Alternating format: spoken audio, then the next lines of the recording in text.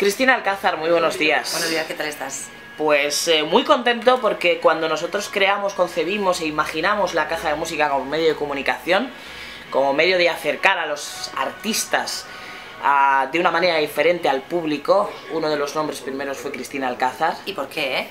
Primero, ya lo vamos a dibujar durante la entrevista, primero por, primero por tu generosidad interpretativa, que nos han hablado maravillas de ti. Gracias. No solo hablado, sino lo hemos visto. Eres una tremenda actriz de teatro y maravillosa actriz de televisión y, el cine tampoco le anda la zaga. Bueno.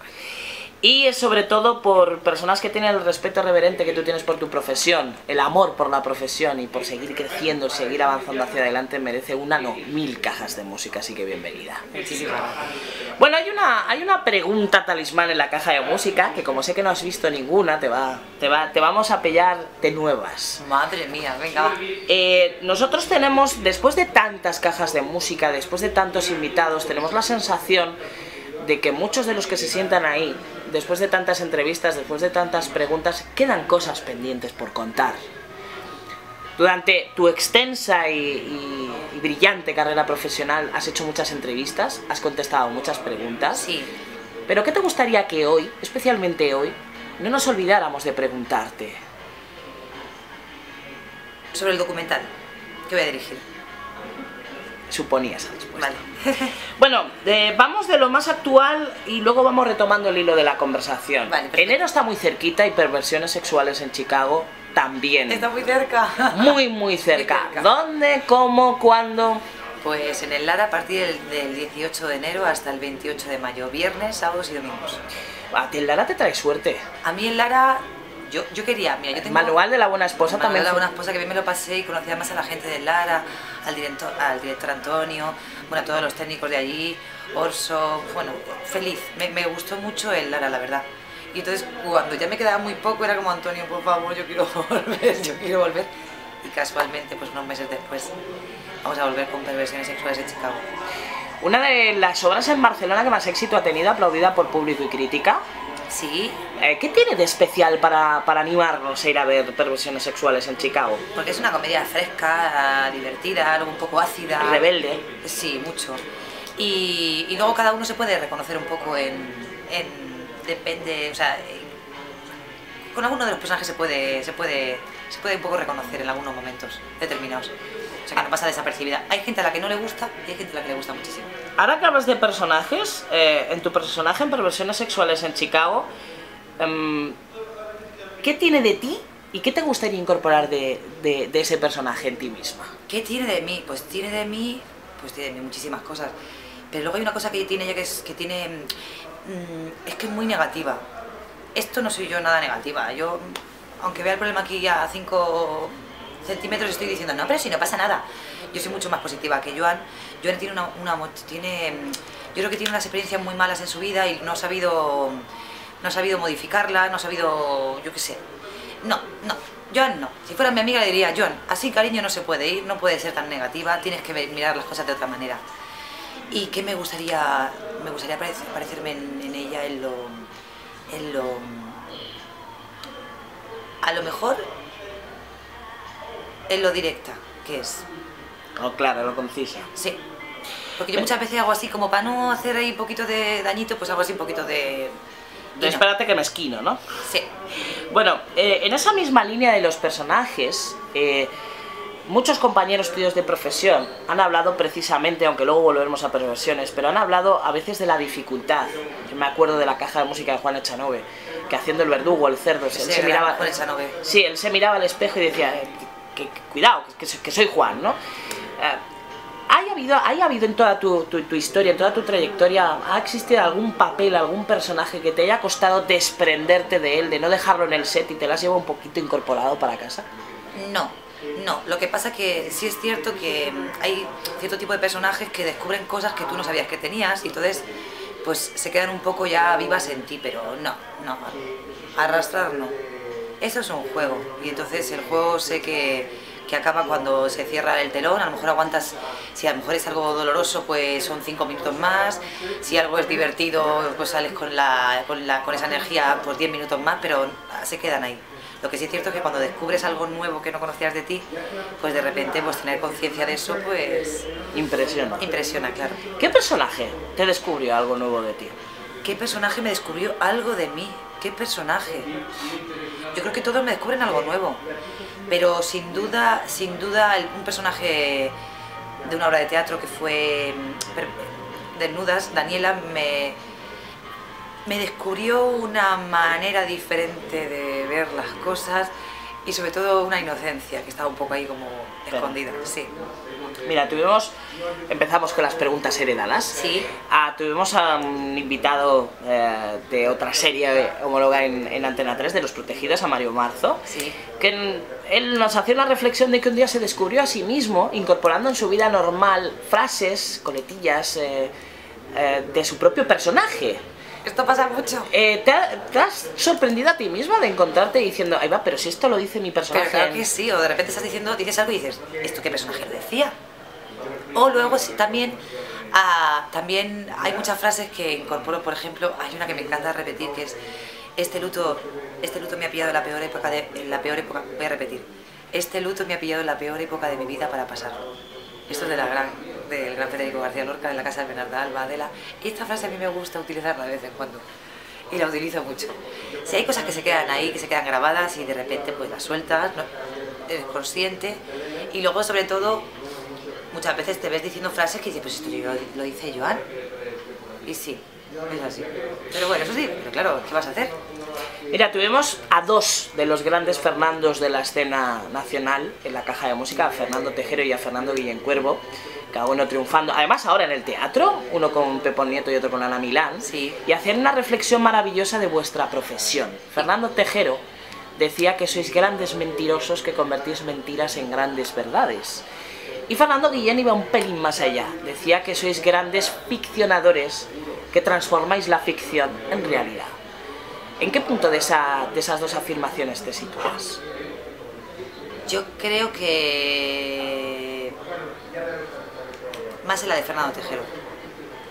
Sí, ¿Consideráis que transformáis esa no realidad, esa mentira en, en la verdad? sí. Ese es el objetivo, ¿no? Conseguir que sea verdad todo lo que estás viviendo en ese momento y lo que te está pasando. Maravilloso. Fernando, en su misma caja de música, nos hablaba de una escena que tiene muy clavadita. Él participó en Los Lunes al Sol. Sí. Y hay una escena y un vis a vis con ah, el Javier. gran Javier Bardem, Me acuerdo de esa escena. precisamente, que no vio la luz. Por razones de Ah, ¿no vio montaje, no vio la luz. Vale, entonces tenía otra, vale. Eh, ¿Recuerdas en tu carrera profesional alguna escena, tanto en televisión como en el cine, que, que la tengas ahí, que digas, ¿y por qué no vio la luz? Sea por las razones que fuera. Por ejemplo, en Cuéntame si me ha pasado que he hecho secuencias que de repente no han estado y es como, "Ah, ¿pero por qué? Pero luego entiendes que esto... Hay una cosa que... mm, que los actores... Los actores contamos nuestra historia dentro de algo que es una historia global. Entonces muchas veces no somos conscientes que es el director el que tiene esa historia global y que, es realmente quien tiene, quien tiene la historia, o sea, quien quiere contar la historia. Entonces, si a veces te cortan una, te quitan de aquí o de aquí o de allí, pues, pues tienes que, pues tienes que asumirlo porque es tu trabajo es hacer bien el trabajo, tu, tu trabajo contar la historia que quiere que el director cuentes y luego el director es el que da la forma. Entonces, si te lo quitan o no, pues esto ya es, es profesión, es profesión absoluta esto. Y hay que asumir. En esa profesión, además, tú que has estado en los dos extremos, ahora eh, haces reír. ¿Qué es más complicado en vuestra profesión, hacer reír o llorar? Hacer reír siempre. Sí. Hacer Siempre. reír, Sí.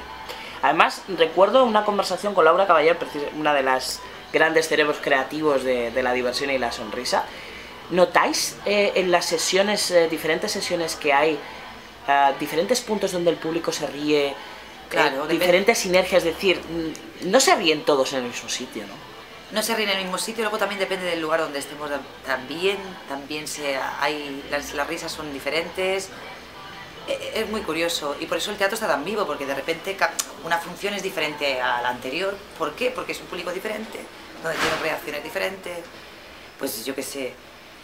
A mí, por ejemplo, em, hay sitios que tengo preferidos para actuar en teatro, cuando hago comedia, y hay sitios que tengo preferidos para actuar. No sé, es un poco raro, pero por ejemplo, eh, en, bueno, en Madrid hay un gran público de comedia y luego en el País Vasco también hay un gran público de comedia. Y, sí, sí, sí, y es curioso además, es curioso.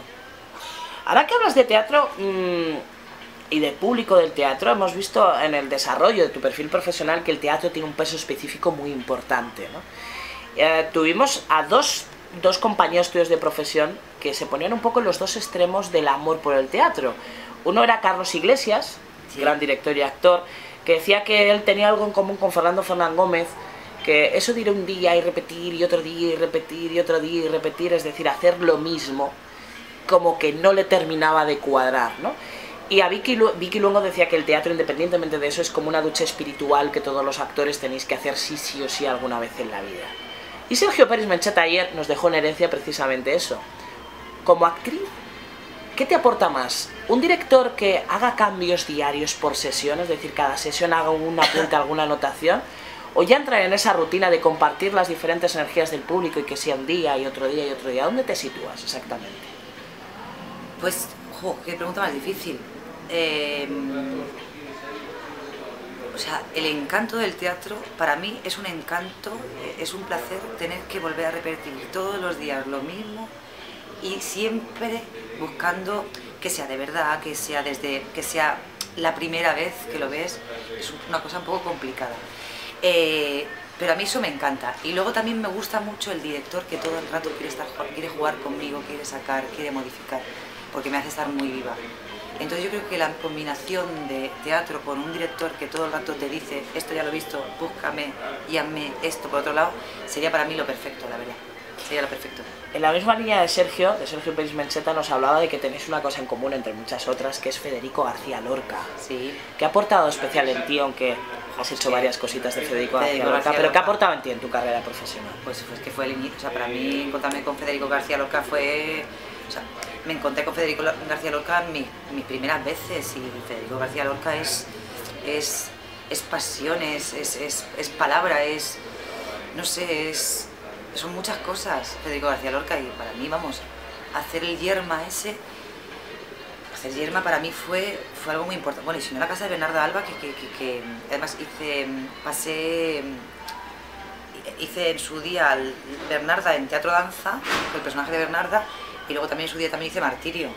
Y son personajes que, vamos, que me encantaría hacer cada uno de ellos. Ya, por ejemplo, Adela ya se me pasa un poquito el arroz, pero, pero sí me encantaría una angustia. O sea, es que lo poquito en Federico es mucho, no sé.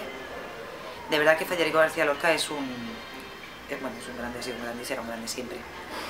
Y luego fíjate que yo canciones, cantaba canciones y luego de repente me decían, pero si esa también es de Federico García Lorca, tú decías, pero que es también de Federico García Lorca, pero este señor ¿qué es? Muy grande. Un completo, sí señor. Sí. En esa misma línea me gusta mucho eh, la esencia que va transmitiendo tu caja de música, sobre todo por la vivencia de tus personajes. Voy a intentar anticiparte esta pregunta. Es la pregunta Miguel de Unamuno. Y dirás, ¿por qué? Miguel de Unamuno hizo una gran obra donde los eh, personajes visitaban al autor. Sí. Hagamos que hoy todos los personajes que has interpretado en tu carrera se sienten a tu lado, se sienten delante de ti, te miren a los ojos. ¿Qué, les di ¿Qué le dirían a Cristina Alcázar? ¿Qué le dirían a Cristina Alcázar? Que respire. Yo creo que dirían eso, que respire, que respire mucho que respires. Sí. Eso tiene que ver porque una de las cosas que dicen de ti es que tu nivel de exigencia es brutal, es decir, es muy crítica contigo misma, eres muy exigente con, con tu trabajo, es, es, un poco en esa línea del, del sí, respirar. Claro, claro que sí, porque yo quiero todos los días mejorar un poquito más y ser un poco mejor, por supuesto. ¿Hacemos un ejercicio de autocrítica? Venga, vale. ¿Cuál consideras que es tu mejor defecto como artista, como actriz? Mejor defecto. O sea, de, negativo. El menos malo, el mejor defecto. Ah, ¿El menos malo? El menos malo. El menos malo. Mi compromiso. ¿Y tu peor virtud? Mi peor virtud. Mi peor virtud. Pues sería... La tozudez. Maravillosa respuesta. En esa misma línea, eh, hemos visto que en tu carrera profesional te has preocupado siempre por la formación. Sí. Uh, tuvimos a Beatriz Rico que nos trasladó una conversación con Carmen Maura muy curiosa acerca de la formación, que ella ni decía que sí ni que no en el tema de, la, de las escuelas de interpretación, que podían estar bien, pero que verdaderamente te daba la vida, el, la experiencia, era el compartir el día a día con un compañero y tú devolverle el pie con la misma calidad que él te lo ha dado. ¿no? Pero en tu caso, tu talento está más que de sobra contrastado. ¿Cómo has utilizado la formación como vehículo transmisor de ese talento? Yo creo que es necesaria la formación para luego olvidarte de todo lo que te han enseñado, pero creo que es necesario, creo que es necesario conocer. Mm, a mí me pasa ahora que te encuentras con actores jóvenes que les hablas de Peter Brook y dicen, ¿eh? Y tú dices, bueno, pero cariño, hay que estudiar para luego olvidar. Porque yo creo que, que, tenemos que conocer todo para luego poder desechar y poder hacer tu propio método y para poder trabajar y para poder tener armas y para no quedarte un poco así como estancado en, en que, que como a mí esto me sale innato. Sí, sí, te sale innato. Eh, está muy bien que te salga innato porque además la, la cuestión de esta profesión es que hay una cosa que si la tienes, la tienes y que si no la tienes, no la tienes. Y da igual que tú hayas estado en las mejores escuelas, eh, que hayas tenido las mejores formaciones, da igual, da igual. Si tú hay una cosita que no la tienes, no la tienes. Y si la tienes y puedes trabajarla y puedes, y puedes mejorarla y puedes pulir y puedes ser... Lo importante es ser consciente, tener conciencia de tus capacidades y de tus incapacidades. Esto es lo más importante como actor. Entonces muchas veces la escuela te da todo esto, ¿no? Porque te encuentras todos los días y todos los días trabajando, trabajando y ves que por aquí no, tú, tus llegas menos en, lo corporal o en lo vocalmente estás más limitada. Yo creo que luego tú te vas a, Estados Unidos, a Norteamérica y todos saben hacer de todo, saben bailar, saben cantar y saben actuar. Y yo creo que nosotros deberíamos hacer lo mismo. Las generaciones también nuevas empiezan ya a apretar y vienen muy fuertes. Y entonces esto se hace en escuelas, esa formación. Y creo que es importantísimo. Y es indispensable. Yo creo que es indispensable. Luego cada uno que coja el método que quiera. Yo soy más de coger una escuela donde te enseñen muchísimos métodos para que tú los conozcas, sepas cuál es el que más te funciona a ti y luego ir eh, profundizar en el que más te funciona. Volvemos a perversiones sexuales en Chicago. Además, tú eres una usuaria ya de Twitter. Sí. Aunque luego hablaremos de Twitter por fin. Que un poco lo abandono a veces, ¿eh? Tengo que Pero vuelves, vuelves, vuelves con fuerza siempre.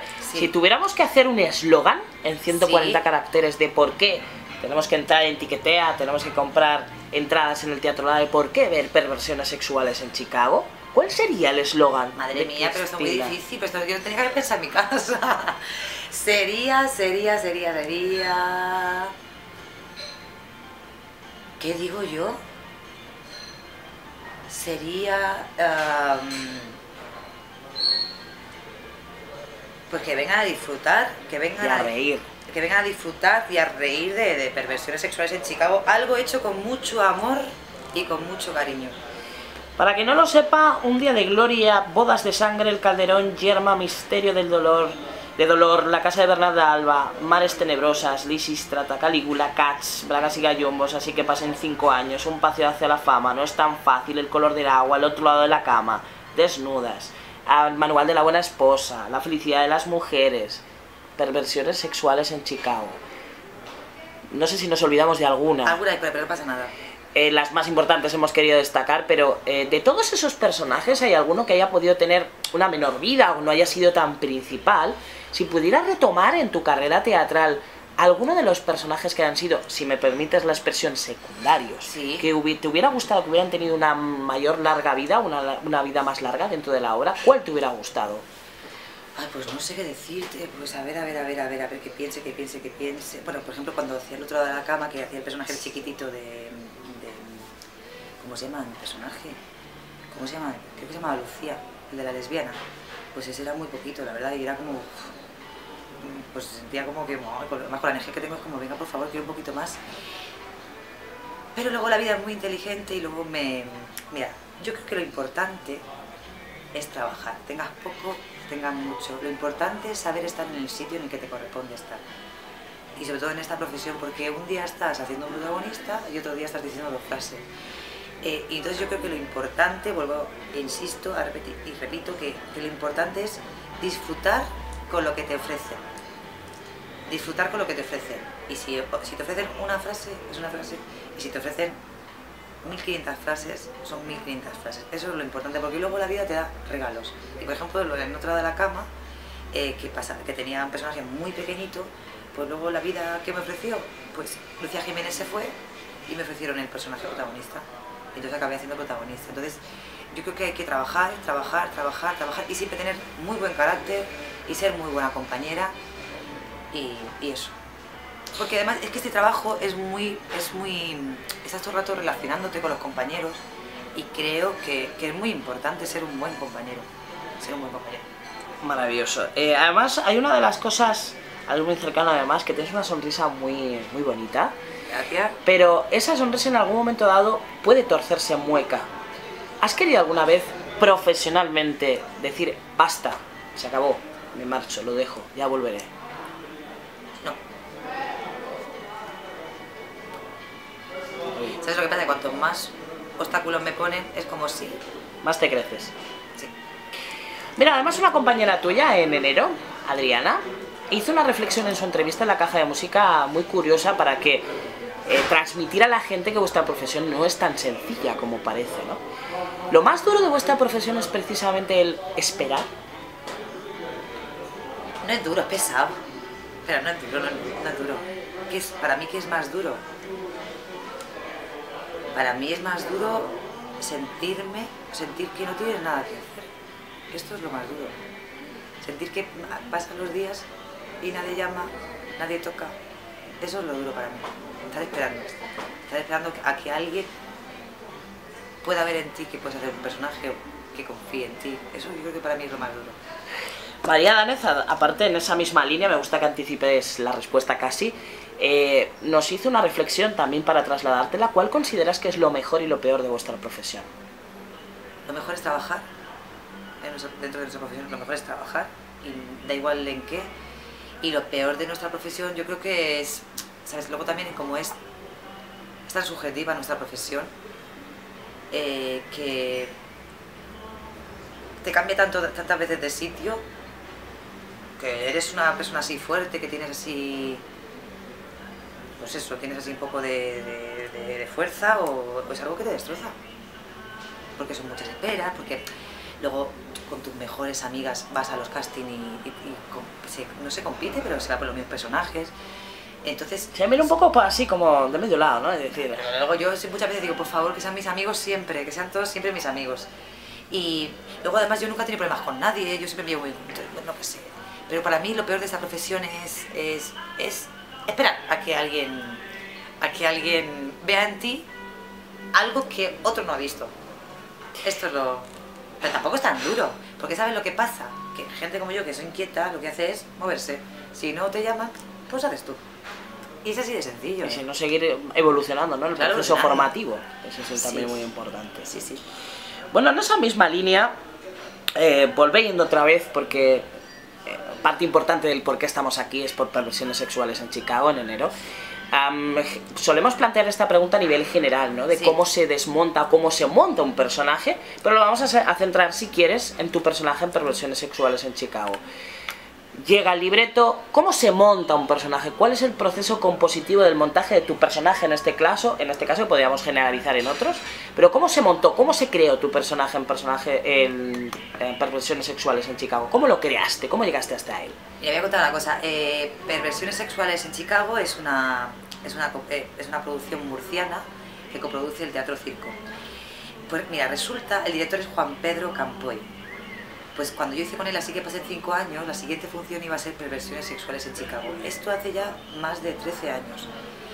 Eh, y se quedó, pues, era como vamos a hacer perversiones sexuales en Chicago, venga, perfecto, Juan Pedro, vamos allá, vamos allá, vamos allá. Bueno, al final, pues la vida, pues uno se va para allá a trabajar, otro para allá, eh, como que perversiones se queda en un sitio apartado. Luego me encuentro con, unos amigos, con, Javier Pereira, con Francisco Boira, con José Manuel Carrasco y con Blanca Suárez y decidimos montar Perversiones Sexuales en Chicago. Buscamos los, los derechos de autor empezamos a ensayar. Esto hará como unos tres años. Al final, ¿qué pasa? Que a Blanca le sale la película de Almodóvar, a Francisco le sale, sale el trabajo y entonces nos quedamos, otra vez se para el proyecto. Y entonces Juan Pedro Campoy hizo una llamada maravillosa de sé que tenéis los derechos, yo quiero hacerla. Y fue como, perfecto, Juan Pedro, llamar el momento perfecto porque de repente ya pues habíamos un poco como disuelto la compañía esta que habíamos montado para hacer. Y Juan Pedro cogió Perversiones Sexuales de Chicago. Y gracias a él estamos aquí. Vamos a ir a Lara el 18 de enero. Entonces, eh, era un personaje que ya, ya le, tenía muchísimas ganas, la verdad. Y, luego Roberto Santiago ha hecho una, una, buena, una muy buena versión.